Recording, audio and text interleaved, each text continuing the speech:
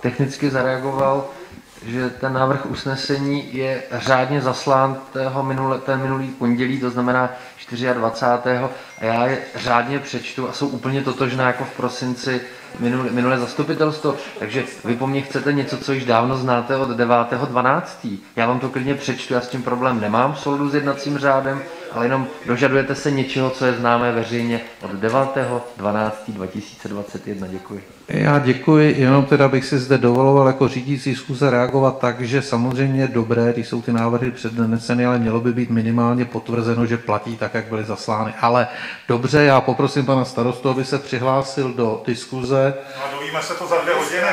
Jako no, já, jedině, že by někdo dal procedurální návrh, že pan starosta vystoupí přednostně.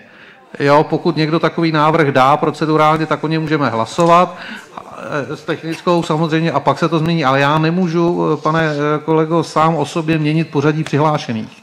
To mě ne, jak si jednací řád neumožňuje. Takže technickou má pan kolega Mlínský. Ano, kdybyste neměl takové ze široká proslovy, tak byste mi dal technickou už dávno a já bych to řekl. To znamená, dávám procedurální návrh na to, aby přihlášený pan Dohnal, který není ale přihlášený do řádné diskuze, kdyby se, kdyby se teď přihlásil, ano, a bude na pozici 13, tak já dávám procedurální hlasování, návrh na procedurální hlasování, aby se z jeho pozice 13 stala pozice číslo 1. Dobře, já děkuji. Já bych to viděl, jestli vám to bude vyhodit, že se nejdřív zeptám pana Dohnala, jestli je připraven vystoupit. Pane starosto, jste připraven vystoupit? Já jsem připraven vystoupit, ano. Tak a pak bych tedy dal procedurálně hlasovat, zdali souhlasíte s tím, aby pan starosta vystoupil eh, v posunutém pořadí, takže by vystoupil nyní před paní Hovorkovou. Prosím o procedurální hlasování. Já děkuji. 40 pro, 0 se zdržel, 0 proti a zdržela se 0. Eh, takže eh, pan starosta má nyní slovo. Ale chtěl jsem připomenout, že půlka radních byla někde pryč, jestli něco někde řešili, proč nediskutovali, jedná se o Ardelta, možná je to nezajímá, nevím. Tak už jsou zpátky, zvíme na top stan, jsou zpátky. Děkuji.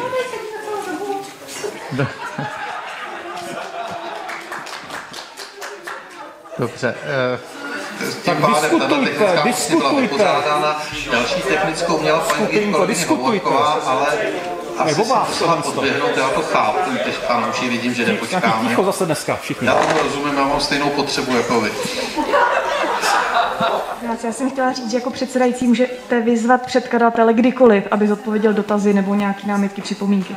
Takže nemusí mít diskuzní příspěvek pan starosta. Eh, dobře, já jsem to reagoval na procedurální návrh pana kolegy Mlického, ale faktickým důsledkem je, že pan starosta má nyní slovo. Já jenom konstatuji, že Již několikrát byly dva z těch tří materiálů předkládány na jednání zastupitelstva. Jsou stále ve stejném znění. Několikrát jsme je projednávali. Já se omlouvám, pan senátor Kos má něco s rukou, pane předsedající, já nevím, jestli nemá křeč. Omlouvám se. No. Aha, tak... Eh, pardon, já jsem eh, zkoumal, jestli ne... Prosím, pane starosto, pokračujte.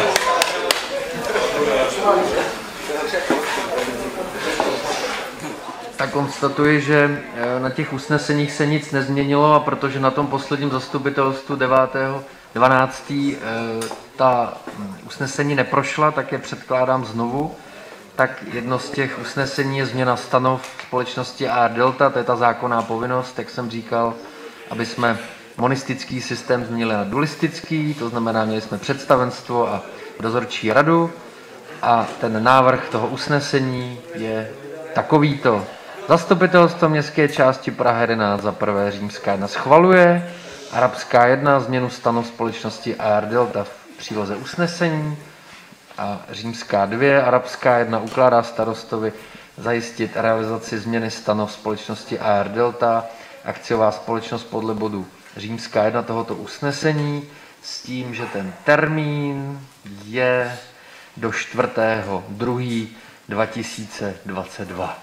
Protože ještě budeme muset svolat valnou hromadu, tak zastupitelstvo mě musí pověřit, to je doplněk ještě k tomu, aby na valné hromadě společnosti svoladné za účelem projednání a schválení změny stanov této společnosti jsem zastupoval městskou část a hlasoval pro její přijetí stanovezní schváleném usnesení zastupitelstva a to tedy na tom konkrétním svolání a jednání valné hromady, které tedy přišlo a bylo navrženo na třetího druhý. Takže pokud se usnese městská část, tak mi dá mandát k tomu, abych hlasoval pro, pro toto schválení valné hromady, které proběhne ve čtvrtek 9.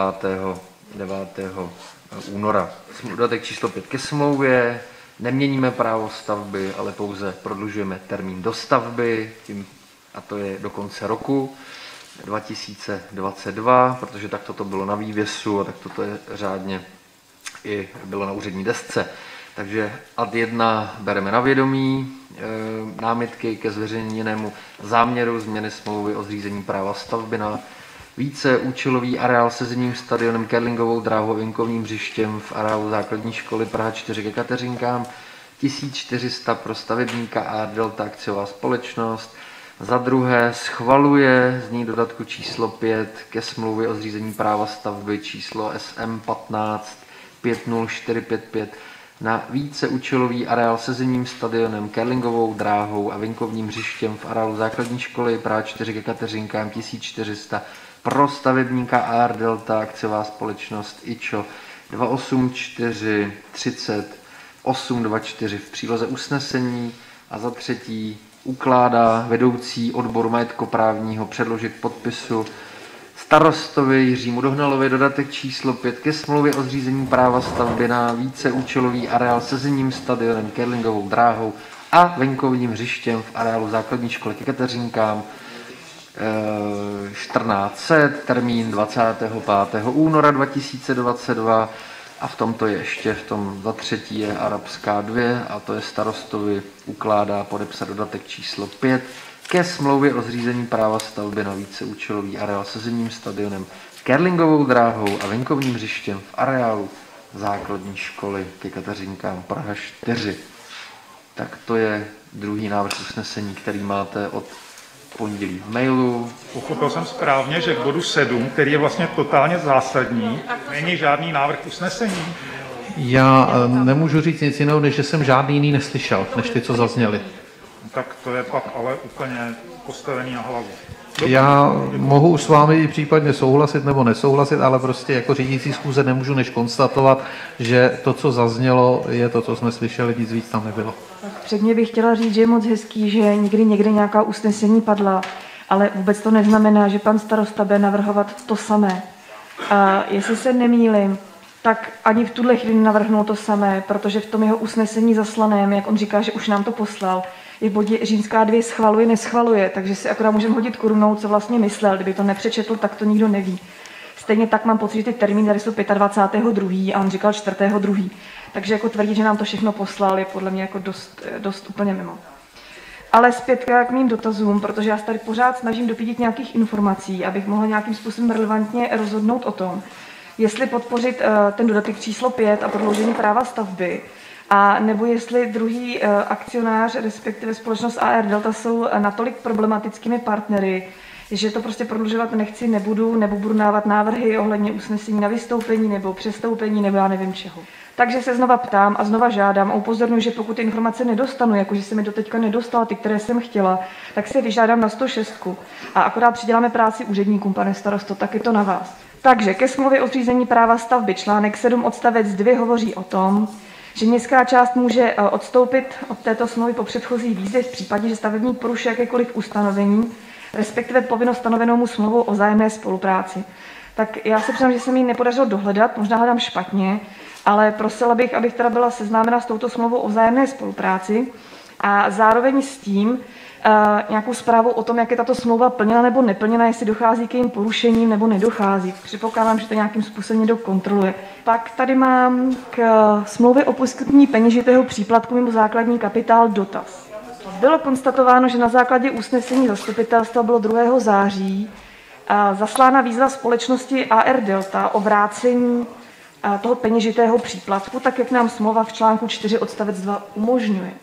A také bylo konstatováno, že městská část Praha ne, dosud neobdržela žádnou reakci. Tak já bych chtěla vědět, jestli tato reakce už nějakým způsobem byla, přišla, nepřišla, Jestli městská část e, posílala třeba tu výzvu znova, urgovala to, nebo jako co s tím naložila, protože v té smlouvě jasně řečeno, že do sedmi dnů se akcionář číslo dvě zavazuje, nebo akcionář, teď společnost, společnost zavazuje nám ten peněžitý příplatek vrátit. A když to tady pan přenosil, tak já bych si toho dovolila využít a požádat jeho, aby se nám vyjádřil k tomu, proč teda žádná reakce nebyla na tuto výzvu. A zároveň by nám mohl e, říci, proč společnost AR Delta neposkytla ty podklady, které tady pan Dohnal tvrdí, že Rada městské části žádala na přání výboru. A nám to jistě vysvětlí, proč je teda nemáme, když o ně zažádáno bylo.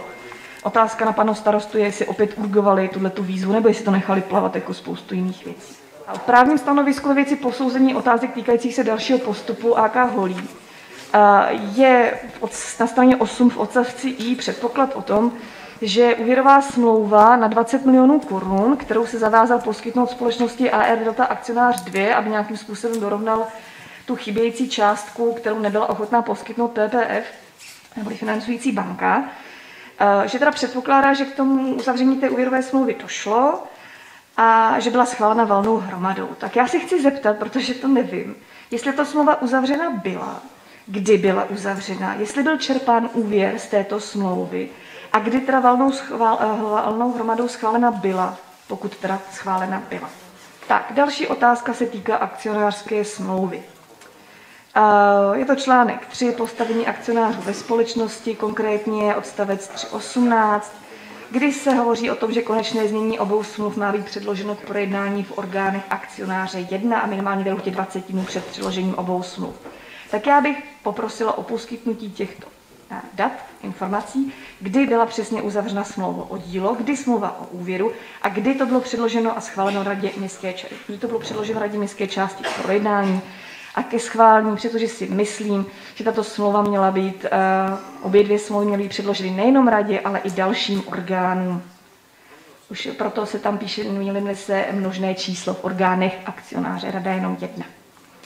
Článek 5. Navýšení vlastnického kapitálu společnosti akcionáři se hovoří o tom, že my máme dát 35 milionů, akcionář 2 má dát 35 milionů. Já mám takový tušení, mě pan Sedek určitě opraví, jestli se mýlím, že hovořil o tom, že těch 35 milionů tím druhým akcionářem nebylo poskytnuto. A já bych teda chtěla vědět, jestli ten druhý akcionář ty peníze, ten peněžitý vklad poskytl a pokud ano, tak kdy se tak stalo. Zatím děkuji.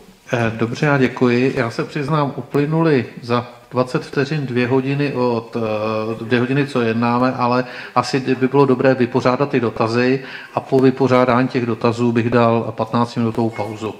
Takže eh, ty dotazy byly směřovány ke třem osobám, jestli jsem správně zachytil paní kolegyň, panu starostu Dohnalovi, panu Přenosilovi a následně ke mně. Já bych to vzal v tomhle pořadí, pokud souhlasíte.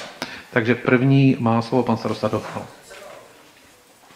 No, přiznám se, že většina těch věcí byla jako na funkčnost eh, správní rady, protože vy se tam ptáte na to, kdy, kdo, jak, co, jakou smlouvu, tak já se přiznám, ale teď nemám tady nikde seznam, která smlouva byla kde projednávána, to se všechno dělo na správní radě, takže jestli můžu poprosit ještě našeho zástupce Petra Přenosila, tak jenom konstatuji, že eh, za mě nebo za nás v radě byly eh, projednávány jak smlouva o úvěru, tak smlouva se zotovitelem v souladu s akcionářskou smlouvou, to znamená, eh, projednali je orgány, tam není řečeno jaké, ale rada je projednala, vzala je na vědomí, schválila. A co se týká potom eh, dalších věcí, tak eh, to, to schvalovali, schvaloval orgán ve správní radě. Takže za mě, co jsme měli splnit zákonnou povinnost, nebo nezákonnou, ale tu, ve které jsme se dohodli a upsali v, v té smlouvě s akcionářem 2, tak to jsme splnili a další věci a procesy probíhaly na půdě AR Delta, takže poprosím Petra, jestli by ty věci neupřesnil. Děkuji. Prosím o zapnutí mikrofonu vzadu. Už? Jo. Uh, tak uh, děkuji za dotazy. Já si je snad pamatuju všechny. První se týkal toho e, žádosti městské části o vrácení toho příplatku ve výši 35 milionů, jestli si to pamatuju správně. E, nejsem si vědom, že by mě e, AR Delta obdržela tuto žádost od městské části kdy. Takže proto jsme se k tomu asi ani nějak nevyjadřovali. E, další dotaz byl na tu půjčku, kterou má poskytnout e, akcionář 2, tak tato půjčka byla schválena správní radou. Valná hromada ji neschvalovala, protože v té době to nebylo nutné vzhledem k zadlužení společnosti. Co se týče úvěru s bankou, ten už potom musela schválit i valná hromada a schválila ho. Dotaz na ty uh, smlouvy, tak uh, já se přiznám, že si to nepamatuju teď přesně z hlavy, kdy byly podepsány, ale bylo to v létě, já to dohledám během té pauzy a pak upřesním. Děkuji. Takže pokud jde o příplatek druhého akcionáře, tak eh, tam došlo k situaci, kdy, řekněme, logika věci je v rozporu s smlouvou, která byla uzavřena. Protože podle té smlouvy každý z akcionářů, tedy městská část i společnost ALS Investors, měla poskytnout příplatek ve výši 35 milionů do eh, fondu eh, té společnosti. Pravdou je, že z logiky věci, tím, že my máme polovinu a oni mají polovinu, to znamená, že by tam každý měl mít celkem vložené prostředky za 35 milionů a protože oni předtím tam již vložili prostředky za 6 milionů, tak jejich reálný doplatek byl 29. To říká logika. Ale ta smlouva zní tak, že by tam měli dát 35. Takže podíváme-li se ryze prakticky na to, jaký máme podepsané dokumenty, tak i podle právního rozboru, který si městská část nechala udělat, chybí doplatek ze strany druhého akcionáře ve výši 6 milionů. To je podle mého názoru z těch právních rozborů zřejmé, tak by to být mělo. A to, že to není možná logické s ohledem na ty poměry, kolik tam kdo má, to je jiná věc, ale je věcí druhého akcionáře, že tedy takovou tu smlouvu podepsal. Pravdou je, že přesto, že podle mého názoru se městská část měla domáhat eh, plnění v této výši, to znamená doplatku těch 6 milionů, tak tomu nikdy nedošlo. Tak eh, děkuji. Já bych se rád eh, omluvil paní zastupitelce Hovorkové a nejený, ale vám všem. Já jsem se spletl ve svém minulém příspěvku a eh, zmílil jsem se, když jsem říkal, že žádná žádost o vrácení toho 35 milionového příplatku nepřišla. Ona přišla, přišla 23.9.2021 a AR Delta na ní odpovídal prostřednictvím svého advokáta 15. října 2021. Eh, Takže ještě jednou se omlouvám.